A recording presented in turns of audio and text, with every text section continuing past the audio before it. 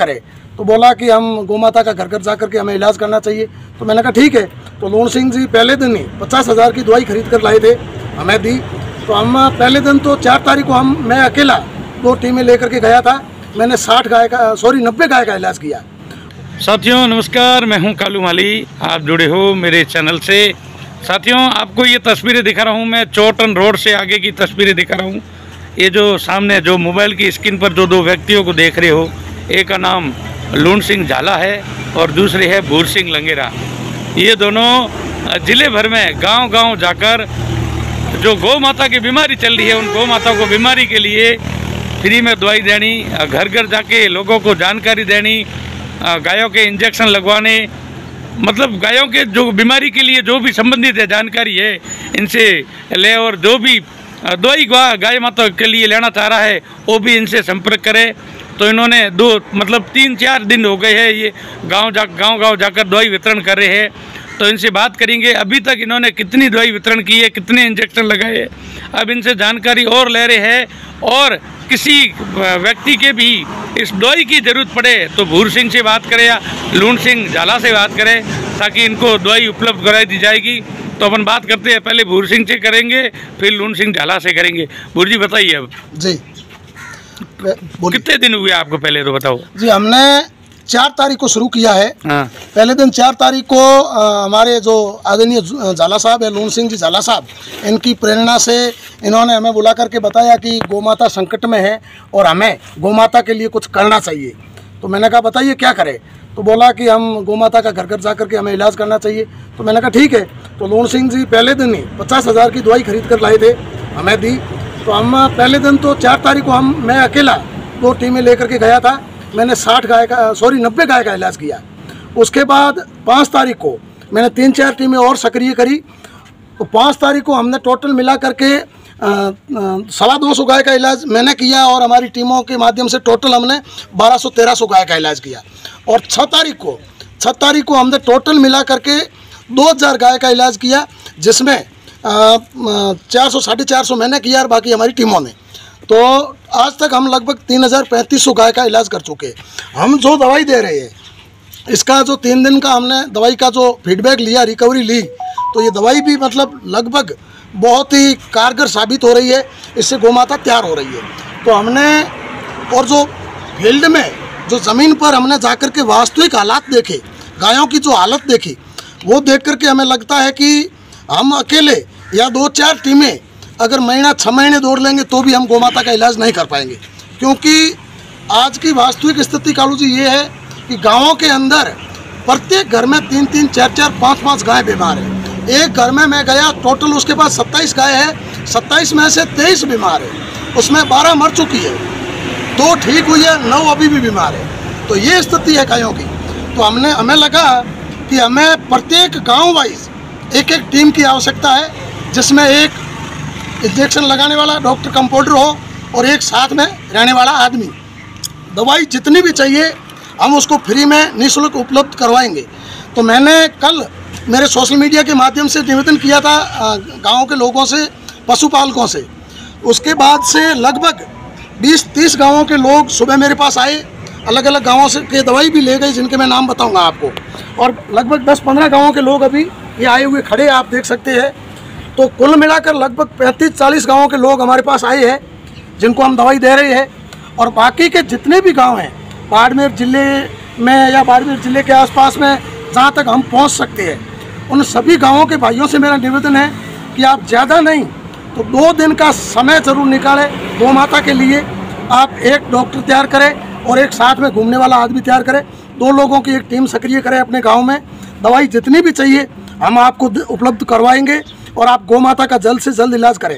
ये जो बीमारी है, लंपी स्किन, ये इतनी भयानक बीमारी है जो कोरोना से भी कई ज़्यादा खतरनाक है। मतलब गाय को ये बीमारी होने के बाद में चार पाँच दिन से ज़्यादा गाय ज़िंदा नहीं रहती है, चार पाँच दिन के अंदर गाय मर जाती है। इसलिए हम अगर ये रहेंगे कि हमारी चार पाँच टीमें काम कर लेगी तो गाय ख़त्म हो जाएगी। हमारा मकसद कालू जी किसी तरह की कोई दिखावटी करना नहीं है, कोई फॉर्मलिटी करना नहीं है, राजनीति करना नहीं है, मीडियाबाजी करना नहीं है। हमारा मकसद जल्द और जल्द से जल्द हर गोमाता का इलाज हो, जल्द से जल्द हम अंतिम गोमाता तक पहुँचे और जल्द से जल्द सभी गायों स्वस्थ हो। इसी मिशन को लेकर के हम चल रहे हैं। इसलिए आप सभी से निवेदन करते हैं कि हम अगर चार पाँच टीमों के माध्यम से काम करेंगे तो महीना, दो महीना, तीन महीना भी काम नहीं कर पाएँगे। तब तक गाय खत्म हो जाएगी। तो मैं चाहता हूँ प्रत्येक घर गाँव में एक टीम तैयार होगी। तो हम लगभग चार पाँच दिन के अंदर अंदर इस बीमारी पर कंट्रोल पा लेंगे।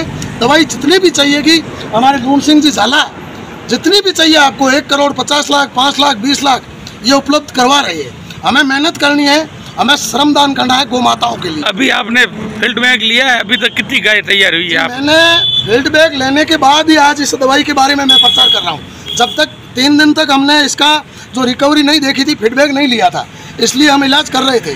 पिछले तीन दिनों में मैंने खुद साथ में जा के लगभग तीन हज़ार पैंतीस सौ गाय का इलाज कराया है और उसमें से उनका जो रिज़ल्ट आया है, बहुत ही अच्छा रिज़ल्ट आया है, बहुत ही मतलब पॉजिटिव रिज़ल्ट आया है।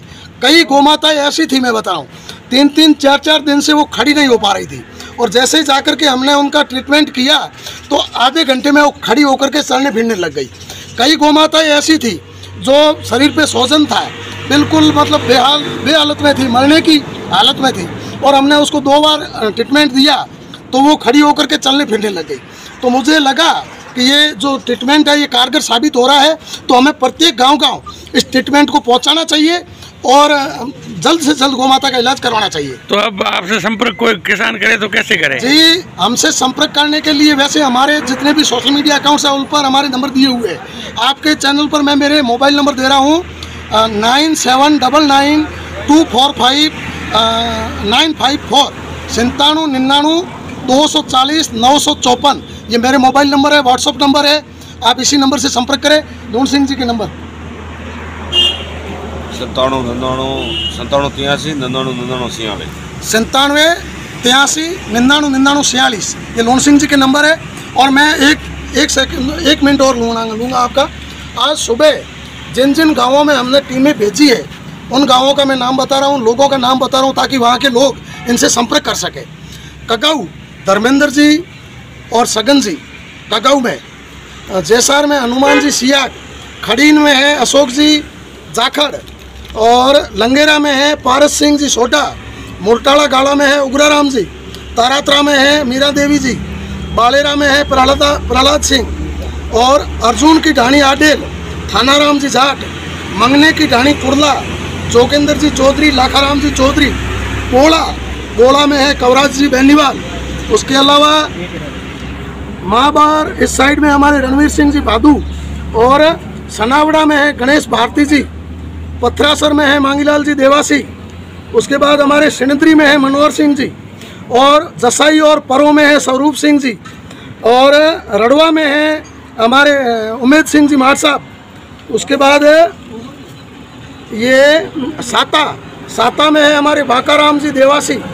चवा चवा भाई, सॉरी, नांद और सुरा, नांद और सुरा में है हमारे नारायण जी डेलीकेट हनुमान जी चौधरी। मारूडी से हमारी है नेताराम जी मेघवाल और टोक से हैं दरपत सिंह जी राजपुरोहित। ये लोग हमसे दवाई लेकर के इन टीमों को हमने हर गाँव में रवाना कर दिया है। और बाकी टीमें मीठड़ा। से आप है आपका नाम?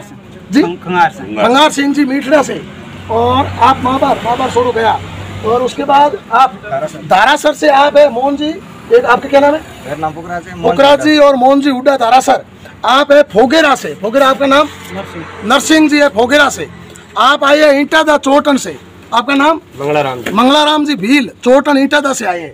उसके अलावा और कौन आए हुए हैं? कूर्जा में आया कूर्जा आप आपका नाम? कल्लाराम। कल्लाराम जी जो कूर्जा से आए हैं। तो इनके कंपाउंडर इंजेक्शन लगा इनके सबके दस कंप्यूटर हमारे पास है जो हमारी टीमों के साथ घूम रहे हैं। बाकी ये जो गाँवों से लोग जितने भी आए हैं इनके गाँवों में एक एक पशु चिकित्सक लगा हुआ है। उनको साथ में लेकर के ये वहाँ पर इलाज करवाएँगे। ठीक है चलो अब लून सिंह झाला से बात करते हैं। लून जी आप क्या संदेश देना चाह रहे हो? मैं तो सबको धन्यवाद देना चाहता हूँ। ये मान लो जितने भी गाँव में मौजूद लोग हैं वो आगे आए। आगे आके हर गाँव में एक व्यक्ति जो लगा हुआ है गवर्नमेंट का उनके साथ रह के गाय का इलाज कराए। जो हमारे टीम में साथ जुड़े हुए हैं बहुत बहुत उनको धन्यवाद है। प्रशासन को भी धन्यवाद है कि ये मान लो जितना कंप्यूटर हमारे को ज़रूरत है, इतना उपलब्ध करा, पूरे ज़िले में हम कर रहे हैं। बाड़मेर ज़िले में लगभग पूरे में दवा भेज दी है। ऐसा होगा, और भी आएँगे तो देते रहेंगे। बहुत बहुत धन्यवाद।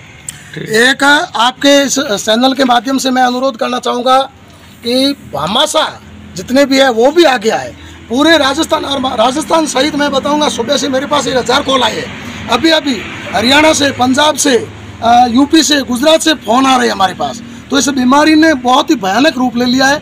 तो भामाशा जितने भी है, वो आगे आए गौ सेवा करने वाले लोग आगे आए और समय रहते, जो सबसे ज़्यादा आवश्यकता है, हमें चार पाँच दिन के अंदर इस बीमारी पर कंट्रोल करने की आवश्यकता है। अगर हम दस दिन तक गाय को इलाज नहीं दे पाए तो दस दिन के अंदर गौमाता समाप्त हो जाएगी। इसलिए हमने ये प्लान बनाया है कि प्रत्येक गाँव में एक टीम बने ताकि दो चार दिन के अंदर हम बीमारी पर कंट्रोल कर सके। इसके अलावा राजस्थान से बाड़मेर से बाहर या राजस्थान से बाहर वो भी आप सभी प्रत्येक गाँव वाइज इस तरह की टीमें बनाए गाय का इलाज चालू करें हमसे संपर्क करें हम जितना होगा सहयोग करेंगे। ठीक है धन्यवाद। जितने भी सरपंच हैं एक मारे कालू दी। उनको मेरा एक निवेदन है सरपंच भाई सभी आगे आए हर पंचायत में एक जेसीबी लगाकर जो गाय माते स्वर्गवास हो गई है इनके लिए जेसीबी का प्रबंध करें आ, सरपंच आ गया। बिल- बिल्कुल। और जो हमारे से जुड़े हुए ममासा गणेश जी भाटी उन्होंने चालीस हज़ार की हेल्प की है।